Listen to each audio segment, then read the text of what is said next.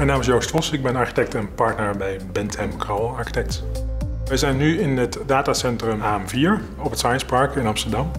Als je dan zegt, ja, een datacentrum, dat is een doos met allemaal de, ja, geen ramen erin, dan denken mensen toch, ja, prima, maar niet op deze plek. Want wij stellen ons een levendige campus voor. En hoe kan je dan toch een dichte doos maken die er aardig uitziet, maar die ook nog functioneel goed werkt? Je moet wel bedenken, achter die gevel zitten allerlei verschillende soorten ruimtes. Bijvoorbeeld vergaderfaciliteiten of kantoren, maar ook gewoon een gebied waar je ontvangen wordt. Dus wij hebben een gevel ontworpen die er enerzijds bijzonder uitziet, maar ook beantwoordt aan die functionele wensen.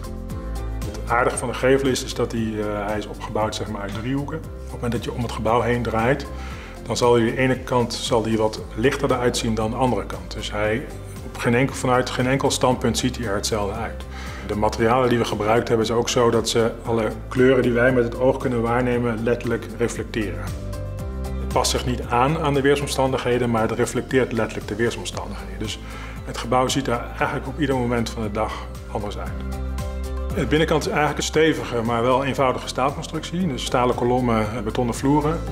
Maar verder is het vooral gevuld dus met techniek. En belangrijk is bijvoorbeeld voor de klanten die hier een apparatuur bestaan, dat zijn de whitespace vloeren, dat zijn eigenlijk de data halls. Dat zijn eigenlijk grote lege ruimtes. En in de loop der tijd worden die dus gevuld met al die apparatuur die daar behoorlijk eh, herrie staat te schoppen. En waar Equinix en het gebouw dan voor zorgt is dat er de juiste temperatuur is, dat er voldoende koeling is, dat er aansluitingen zijn op het internet, eh, dat er voldoende stroom is en uiteraard dat de beveiliging geregeld wordt.